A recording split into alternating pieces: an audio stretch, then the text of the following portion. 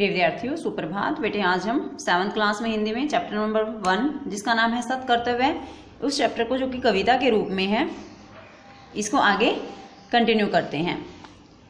Previous video में हमने one two six पद्यांश किए थे बेटे। आज ये हमारे फोर पद्यांश रहते हैं। इनको कंटिन्यू करते हैं आगे। देखिए यहाँ ध्यान से। केवल अपने लिए सोचते, मोज भरे गाते हो। तो कवि मनुष्य से क्या कह रहा है कि हे मनुष्य, तुम केवल अपने लिए सोचते। तुम केवल अपने लिए सोचते हो, मोज भरे गाते हो, मोज यानी मस्ती में, भरे भर कर गाते हो, गाते फिरते हो। केवल अपने लिए ही सोचते हो और मस्ती में भर कर गाते हो। पीते, खोते, सोते, जगते, हँसते, सुख पाते हो। पीते, तुम अपने लिए ही तो पीते हो। यानी बेटे जब आपको प्यास लगती है, आप पानी पीते हो तो इसे आपकी तो प्यास बुझती है ना, अपने लिए ही तो पीते हो। खोते कोई भी चीज़ खोते हो तो अपने लिए ही। सोते रहते हो नींद पूरी करने के लिए, जगते हो अपना काम करने के लिए, हँसते हो खुशियाँ पाने के लिए और सुख पाते हो और सुख प्राप्त करते हो। तो ये सब काम मनुष्य कौन करता है? अपने लिए, स्वार्थ को पूरा करने के लिए। इसलिए कवि राम नरेश त्रिपाठी जी कहते हैं कि, हे मनुष्य, तुम केवल अपने लिए सोचते हो, मस्ती में भरकर गाते हो, पीते हो, खोते हो, सोते हो, जगते हो, हँसते हो और सुख प्राप्त करते हो। इसमें जो शब्द जैसे लिखे हुए उनकी हिंदी एज इट इज़ बनेगी। कोई नया शब्द आपको इसमें ऐड नहीं करना है। बहुत ईजी है। नेक्स्ट देखिए, थोड़ा सा ध्यान से समझना है। जग से दूर स्वार्थ साधन ही सतत तुम्हारा यश है। जग से दूर, यानी संसार से दूर। स्वार्थ साधन, यानी कि अपने काम को पूरा करके सतत लगातार तुम्हारा यश यश प्राप्त करते हो। इसकी हिंदी बनेगी बेटे कि संसार से दुख, दूर रहकर अपने स्वार्थ को पूरा करके ही तुम लगातार इस संसार में यश को प्राप्त करते हो। सोचो तुम्हें तुम्हें एक बार सोचो, कौन अग जग में, कौन अग जग में इस पूरे संसार में तुम सा स्वार्थ विवश है, तुम्हारे समान स्वार्थ से लाचार है, यानी तुम्हारे जैसा स्वार्थी है। सोचो तुम्हें तुम्हें एक बार सोचो कि कौन इस समस्त संसार में तुम्हारे जैसा स्वार्थी व्यक्ति है। स्वार्थी व्यक्ति ही तो है जो अपने लिए ही करता है सारा। उसी बात को कवि ने आगे यहाँ ऐड करके आपको बताया कि संसार से दूर रहकर अपने स्वार्थ को पूरा करके ही तुम लगातार इस संसार में यश को प्राप्त करते हो। तुम ही सोचो कि कौन इस संसार में तुम्हारे जैसा स्वार्थी है। मे भी आपको ये समझ आ गया होगा क्योंकि बेटे इसमें भी क्या, क्या बताया है कि मनुष्य स्वार्थी है और वह बस अपनी इच्छाओं को पूरा करने में ही लगा रहता है। इसलिए कवि ने कहा और जो स्वार्थी होता है बेटे वो संसार से अपनी आप ही दूर हो जाता है। जो परोपकारी होता है उसे वो ही तो सबसे मिलकर रहता है ना? तो इसलिए कवि कहते हैं कि संसार से दूर रहकर अपनी, अपने स्वार्थों को पूरा करके ही लगातार तुम इस संसार में यश को प्राप्त करते हो। तुम ही सोचो एक बार कि कौन इस समस्त संसार में तुम्हारे जैसा स्वार्थी है। क्वेश्चन मार्क है ना? कवि मनुष्य से पूछ रहा है कि जितने स्वार्थी तुम हो, क्या कोई और भी है इस संसार में इतना स्वार्थी?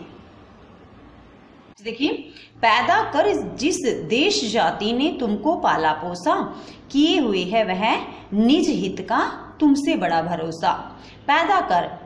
जिस देश जाति देश जाति यानी बेटे जिस धरती ने तुमको पाला पोसा, तुम्हारा पालन पोषण किया।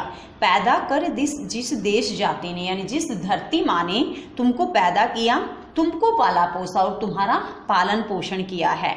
किए हुए है वह निज हित का। वह किए हुए है, वह कौन? धरती माता। यानी कि वह धरती माँ अपने कल्याण के लिए तुमसे बड़ा भरोसा, तुम पर बड़ा भरोसा किए हुए है। यानी जिस धरती ने तुमको पैदा किया है, वह धरती माँ सोचती है कि तुम भी बड़े होकर मेरा कल्याण करोगे। इसलिए वह अपने कल्याण का तुम पर बड़े, बड़ा भरोसा किए हुए हैं।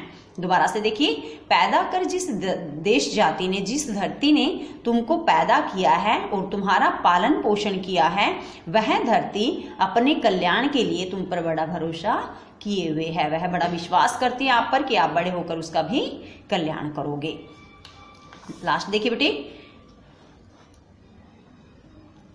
उससे होना होना उऋण प्रथम है सत्कर्तव्य तुम्हारा। उससे होना उऋण किससे?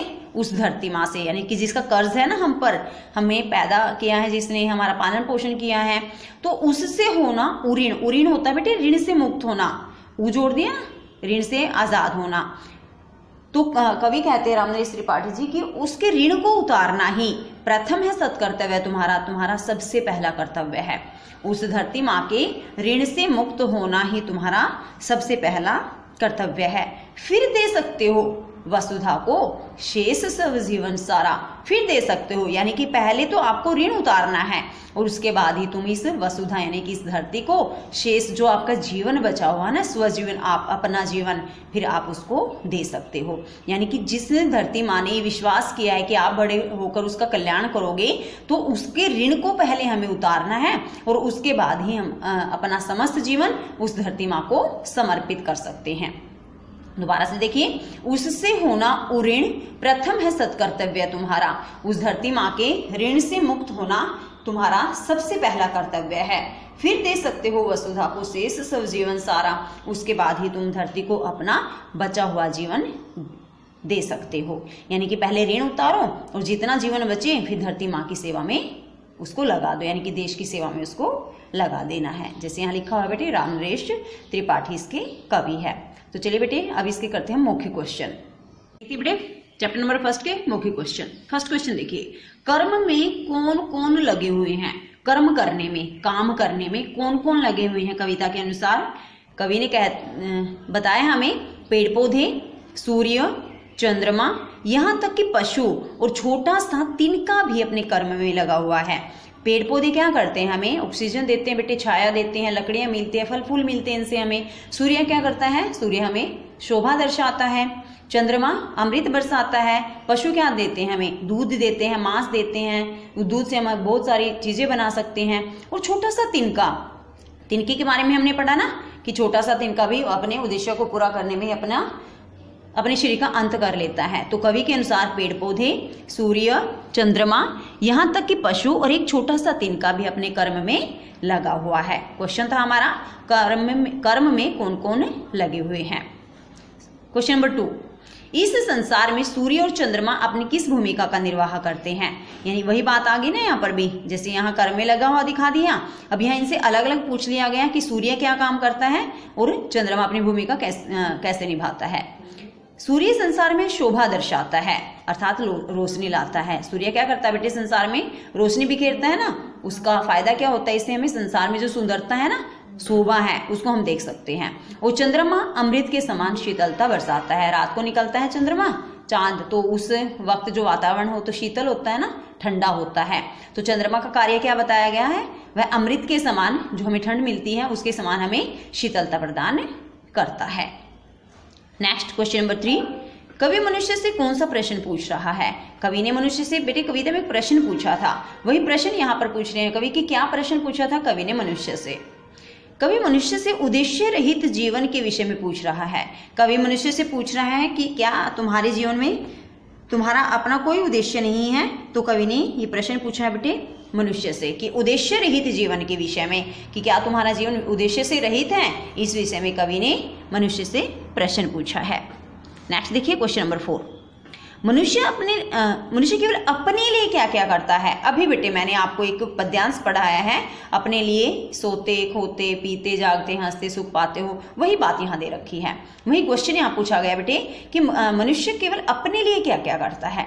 मनुष्य केवल अपने लिए सोता, पीता, जागता, खाता, मस्ती में गाता, हंसता हुआ सब सुख केवल अपने लिए ही प्राप्त करता है। यानी मनुष्य क्या क्या करता है? बेटे अपने लिए सोता है पीता है जागता है खोता है खाता मस्ती करता है हंसता है गाता है।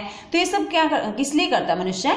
स्वार्थ के लिए अपने जीवन में खुशियाँ लाने के लिए। वही बात कवि ने यहाँ पूछी थी कि मनुष्य केवल अपने लिए क्या क्या करता है। नेक्स्ट क्वेश्चन नंबर फाइव कवि मनुष्य से किस विषय में सोचने के लिए कह रहा है? कवि ने मनुष्य से पूछा था क्वेश्चन बेटे कविता में। कि अपने बारे में सोचो सोचो तुम। तो कवि मनुष्य से किस विषय में सोचने के लिए कह रहे हैं? कवि मनुष्य से उसके कर्तव्य के विषय में सोचने के लिए कह रहा है। तो कवि ने क्या किया बेटे? मनुष्य से उसके कर्तव्य के विषय में कि आपका कर्तव्य क्या है और क्या आप अपने कर्तव्य को पूरा कर चुके हो? तो ये सारे क्वेश्चन किसने पूछे? कवि ने मनुष्य से। कवि मनुष्य से उसके कर्तव्य के विषय में सोचने के लिए कह रहा है। यानी कि आपका जो कर्तव्य है, क्या आप अपने कर्तव्य को पूरा कर चुके हो? ये सारे क्वेश्चन कवि मनुष्य से पूछता है। लास्ट क्वेश्चन मौखिक में।